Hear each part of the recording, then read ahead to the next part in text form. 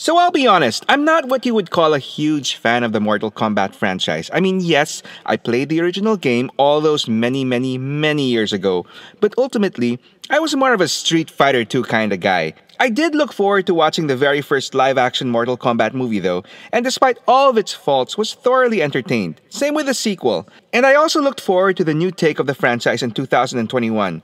But after watching it, the only question I had in my mind was, who the hell was this guy supposed to be?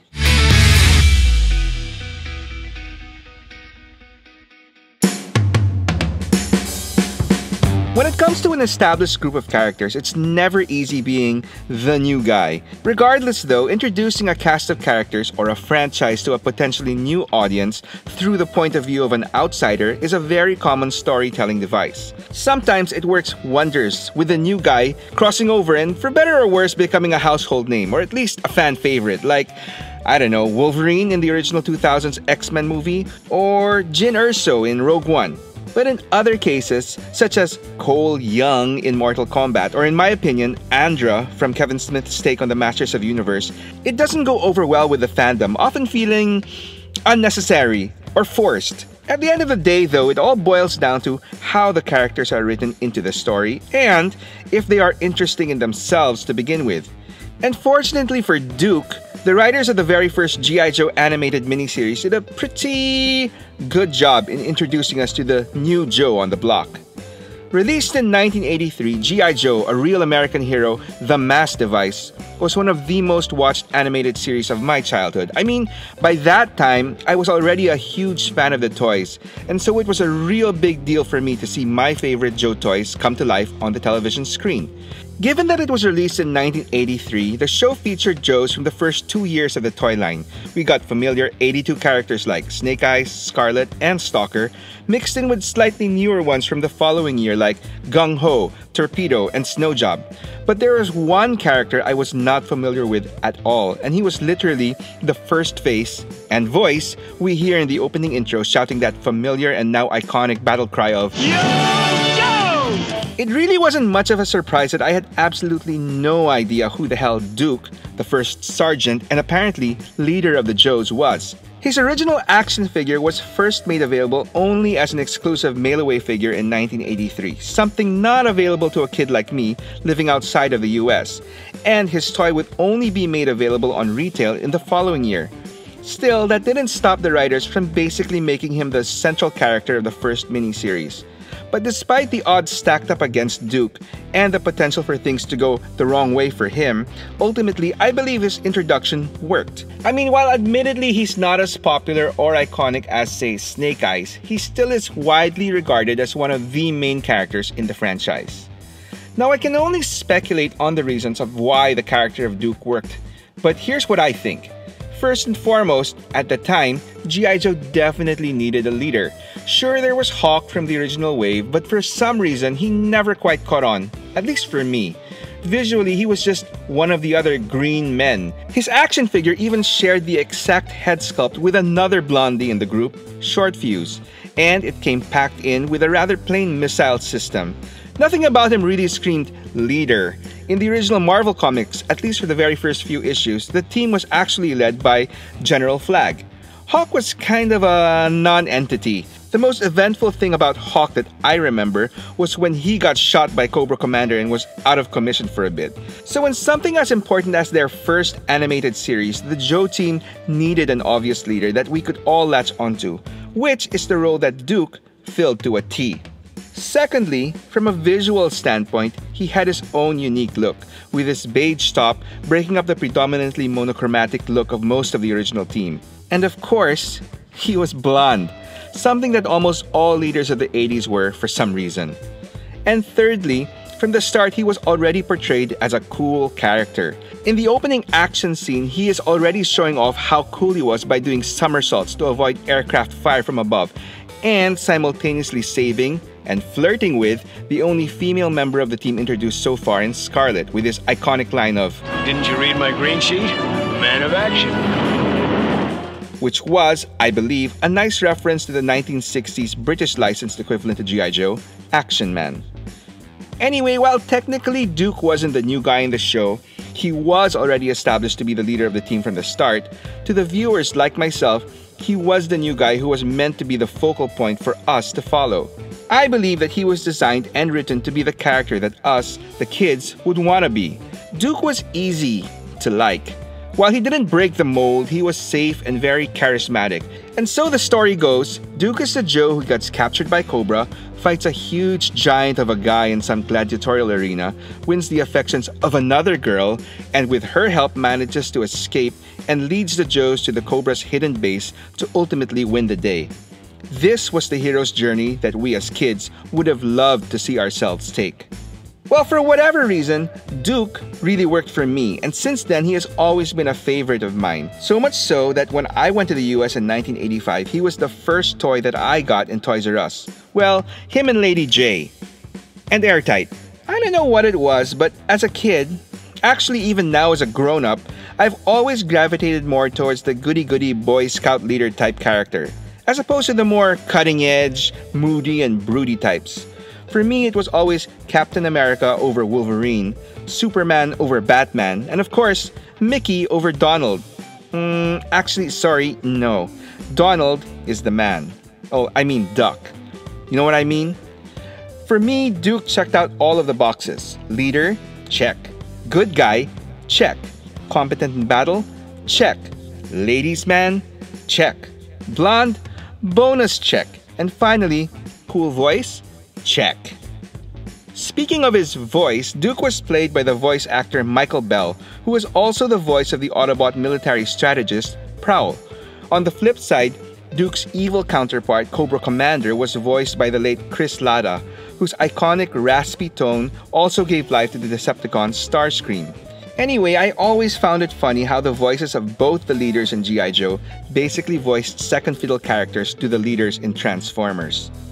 Anyway, while all of his cool qualities were all fine and dandy for kids, Duke's straight laced heroic character wasn't something that in general appealed to an older audience. And as such, when many Joe fans started latching onto the slightly more serious Marvel comics, it was characters like Snake Eyes and Storm Shadow who became more popular with their more complicated backstories and more nuanced personalities.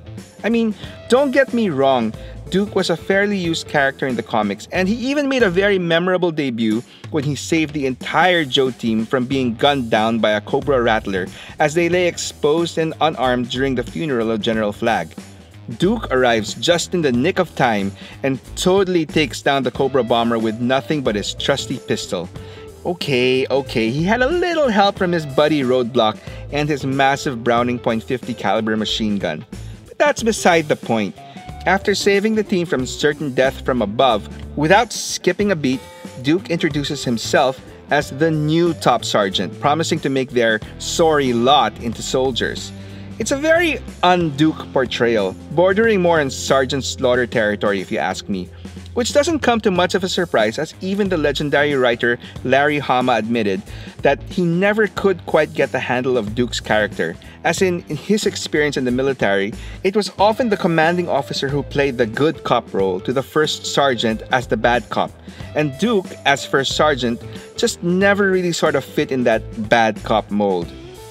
And speaking of his rank, as a kid, I could never quite understand how Duke, with his rank of First Sergeant, could be officially recognized as the leader of the G.I. Joe team. Well, okay, if you wanted to be technical about it, second in command after Hawk. I mean, I'm not an expert in military ranks, but anyone with access to Google can learn that technically Joes like Flint, who was a warrant officer, or even the Conquest X 30 pilot Slipstream, who was a lieutenant, should have easily outranked Duke. But the work around this apparently is that Duke should have been ranked higher. It's just that he refused promotions that would effectively put him behind the battle lines, as his preference was to be out in the field with his men. As he states in his own file card, they tell me that an officer's job is to impel others to take the risks, so that the officer survives to take the blame in the event of total catastrophe. With all due respect, sir, if that's what an officer does, I don't want any part of it. Again, from what I recall, Duke didn't do anything memorable in the original Marvel comics. But he was always in the thick of things, as during an ill-fated mission in the Middle Eastern nation of Trucial Abysmia, wherein a Joe convoy led by Duke is captured by Cobra and things turn ugly real fast. Long story short, In an unprecedented move, a good number of Joes are killed off, including original 13 member Breaker and other favorites like Doc, Crazy Legs, and Quick Kick. Of course, Duke manages to survive, which is something he seems to have a knack of being able to do most of the time. But before we go any further, I'd like to take a quick detour and invite all of you, my lovely viewers, to try out joining my channel as an awesome member. If you regularly enjoy the stories that I put out every week, I'd like to give you more. I'm talking about sweet perks like early access to my videos and exclusive ones as well, like first impressions, collection tours, latest updates, and whatever unscripted ramblings come to mind. Yes, I know that this will all cost you a teeny tiny bit, but I remain committed to making sure that it'll be worth it for you. And I will continue to add even more perks, like maybe special polls to decide what stories to tell next, as soon as I figure them out. As always, it's a little thing that will go a long way to help me grow my channel. But either way, rest assured, everything else currently on the channel, meaning the regular stories that you've been enjoying, will remain as is. This is just a little something extra so I hope you can give being a channel member a shot. But if you're not keen on joining right now, or ever, that's perfectly fine. Your continued viewership and support is more than enough. So, thank you. Anyway, back to Duke. So apparently narrowly surviving a dire situation is something he does quite well. And in 1987, he managed to cheat death yet again thanks to the help of a certain heroic Autobot, Optimus Prime. So, as the story goes, in the mid 80s, Hasbro was riding high with the financial success of a number of their toy lines, and as such, felt confident enough in three of their best selling toy lines, namely Transformers, G.I. Joe, and My Little Pony, to invest into their transition to the big screen. Aside from hopefully reaching an even wider audience, one of Hasbro's main objectives for these movies was to introduce new characters to sell new toys. And as such, at least for the boy brands, the directive from above was to literally kill off characters who no longer had toys currently selling in the stores. And so in 1986, Transformers the movie made its grand debut to excited audiences, and then proceeded to kill off in rather graphic fashion familiar and favorite characters like Brawn, Prowl, Ratchet, and Ironhide, and of course, the ultimate cherry on top, the beloved Autobot leader himself, Optimus Prime. And the audience, specifically the kids, freaked out.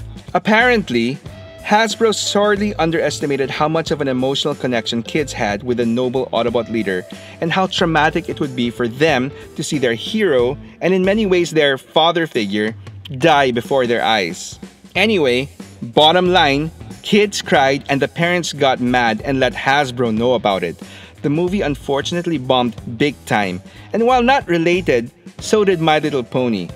This unfortunate series of events basically led Hasbro to switch the already finished G.I. Joe movie to a home video only release in 1987, with one major significant change.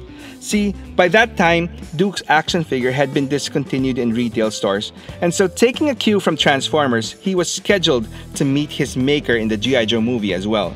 Story wise, it was to make way for the G.I. Joe Falcon, who was to be introduced as the new main character of the movie and as Duke's irresponsible half brother. Actually, the original plan was to make him Hawkson or something, hence the similar bird themed code names. But anyway, Duke's death scene was done and animated, wherein he selflessly takes a snake spear thrown by Serpentor, originally meant for Falcon, to his heart, and he expires in the lap of his beloved Scarlett. Yes, I am Team Dukelet, or is that Scar Duke?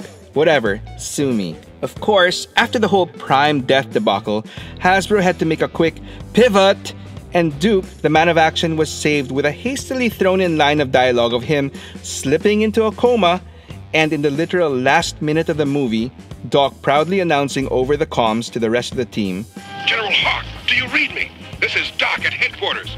Great news! Duke's come out of his coma. Looks like we made it. Men, Doc says Duke's gonna be A-OK. Yo, Joe! Duke lives in the movies. Well, the animated one at least.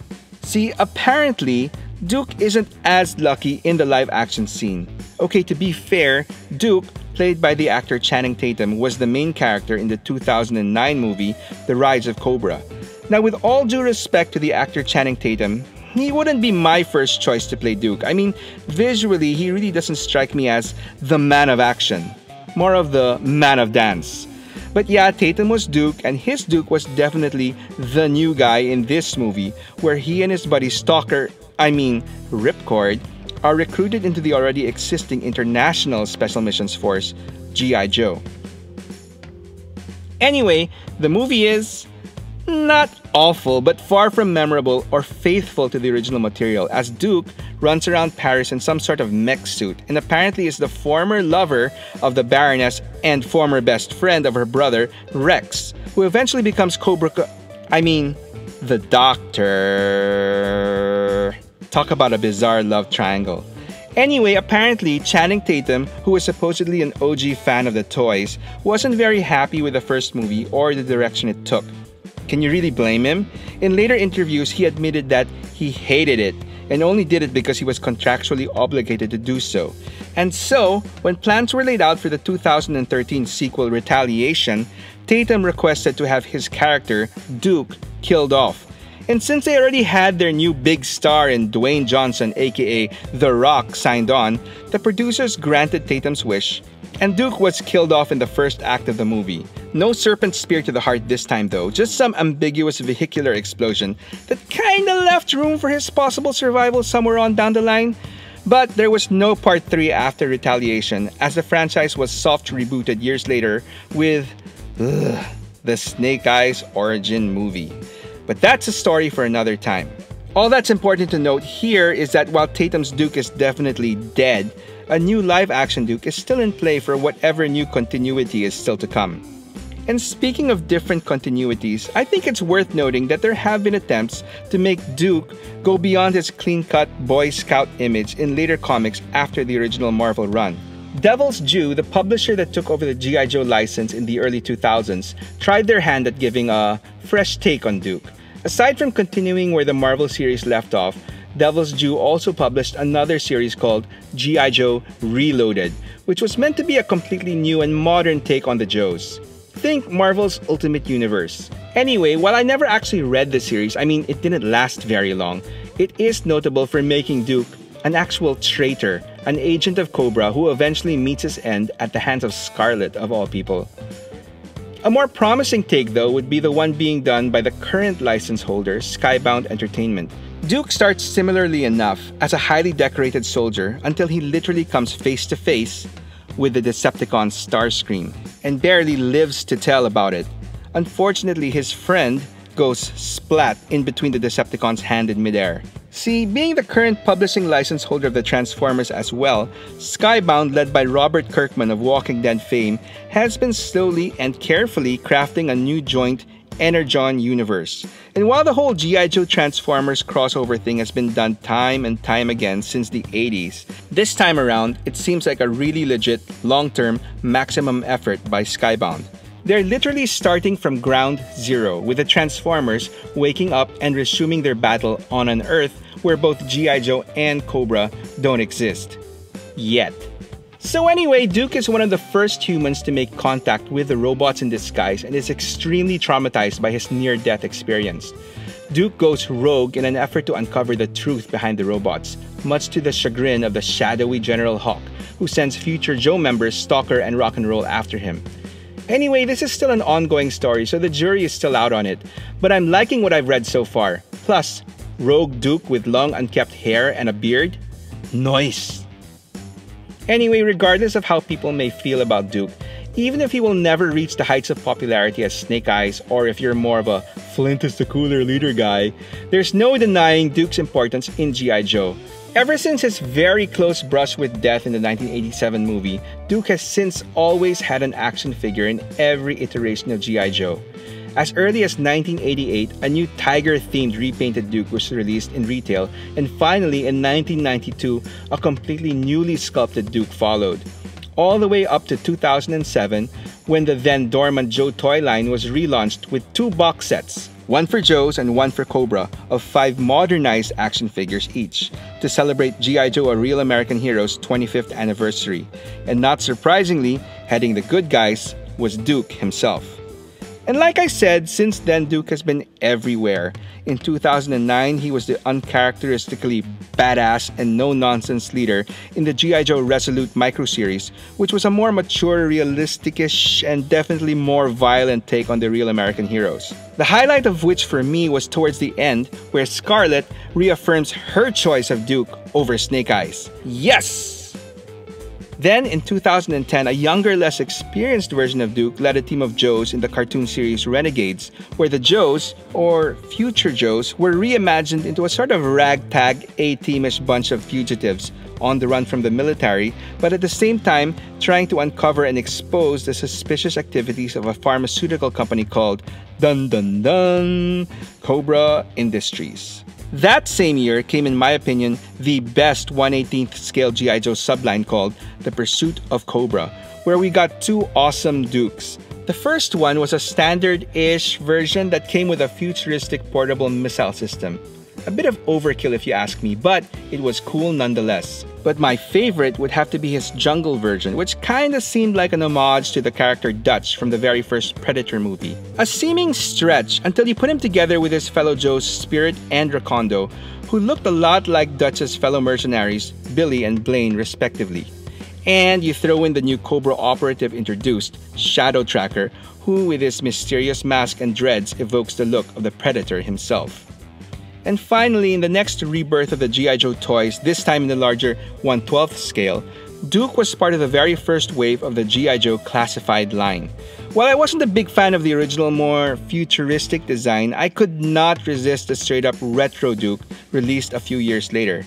But as great as that Duke is, for me, my hands down favorite would be the Ultimates version by the company Super 7, which stands slightly taller than your classified figure and is meant to be a plastic representation of Duke from the cartoons. And for me, it hits the mark in every way.